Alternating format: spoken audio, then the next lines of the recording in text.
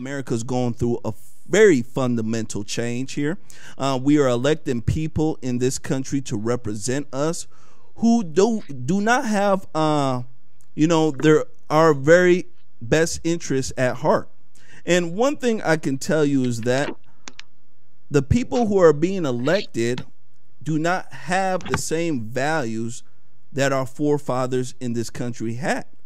Breitbart did a story on her, and they said that Democrat Rashida Tlaib dances with Palestinian flag at victory party.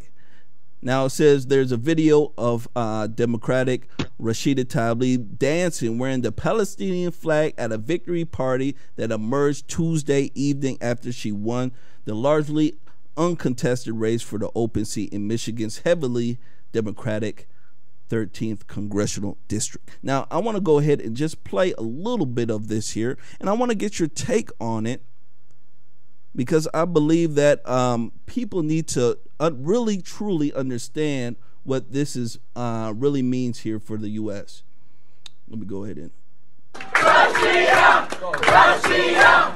Russia! I want you to know my mom, who's from a small village in the West Bank, they're literally glued. It's like 5 o'clock or 6 o'clock in the morning. And now it's more than that. But they're glued to the TV. My grandmother, my aunts, my uncles in Palestine are sitting back and watching their granddaughter.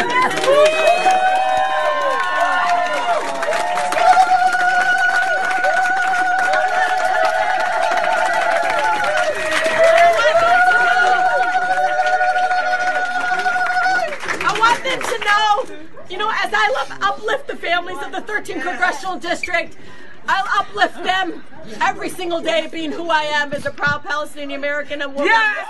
She had a lot to say about how she won. She says that, and this is the only country um, on this side of heaven that allows this type of speech where you can uh, win a governmental race and then you can claim that and claim a different country. Well, it's because I'm Palestinian and I did it for the Palestinians. When you it, you you get what I'm saying? When you're in a different country, kind of bizarre. But what do you think about this? I, I don't even know where to start. Let's begin with the fact that Palestine is not a country. It's never been a country. It was a Roman name for Israel. Um, and after 1967, and Jordan, in an attack on Israel, lost the West Bank, those territories came uh, under Israeli uh, control.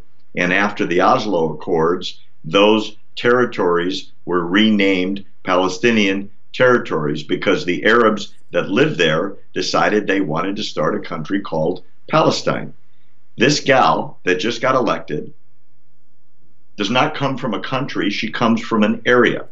So that's number one, just in a historical perspective for your viewers to be aware of. Number two, in the history of the United States, where every member, 535 of them, men and women, that occupy the 100 seats in the Senate and the 435 seats in the House of Representatives take their oath. Their oath is to uphold the Constitution of the United States of America to preserve and protect it. That's their oath. They're not Irish Americans or Catholic Americans or German Americans or Canadian Americans or African Americans. They are Americans. And we, as a melting pot, demand that everyone swear allegiance to this country when they serve in its highest body, the House of Representatives and the Senate. And it goes for the president and the vice president as well. This woman is a whack job. Mm-hmm. She thinks that it's okay to show how proud she is to represent a country that doesn't exist instead of being proud to be an American. Here's the kicker everybody that takes office swears allegiance to this pledge to uphold and defend the Constitution, which are the American values dating back to 1776, on a Bible. She wants to swear on the Quran. What your viewers don't know, and I'm about to shock them, is Muslim men and women are allowed to lie on any contract and any swear and any agreement if that lie will enhance the furtherance of Islam. That's terrifying. So if she goes to Washington and she holds up her hand and puts her left hand on the Quran and puts her right hand up in the air and says she swears, it doesn't mean anything to her, nor in the eyes of her religion or in the eyes of her God.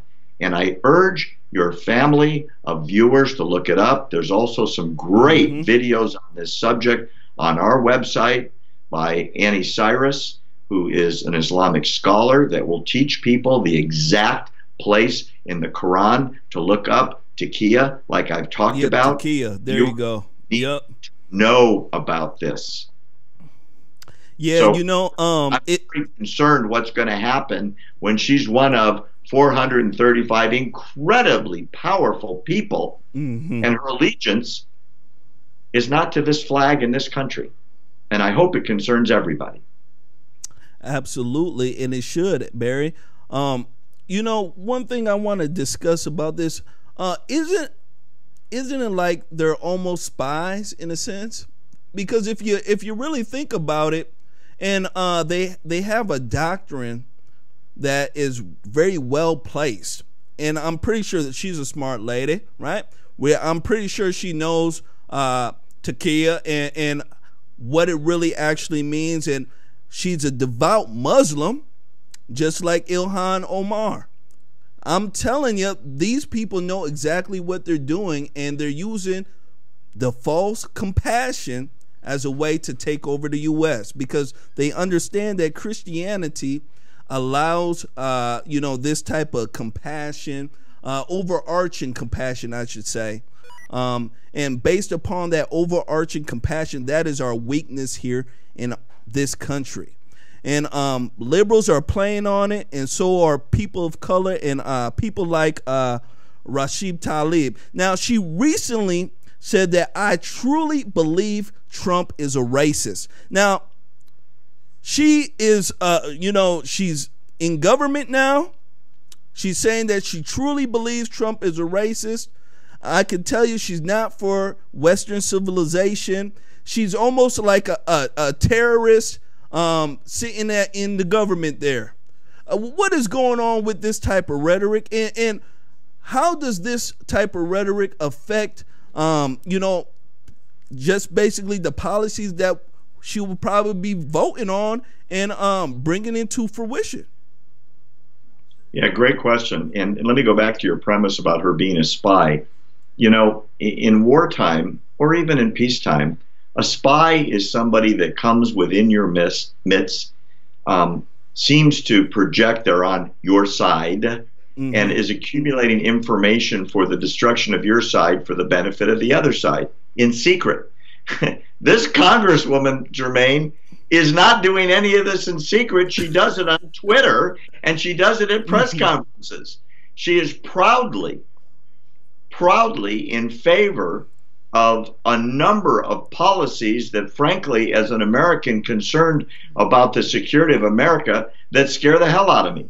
And it ought to scare your viewers too, because the the voters in your neck of the woods, um, not your quite neighborhood, but that area, have elected somebody that makes it clear where her allegiance is.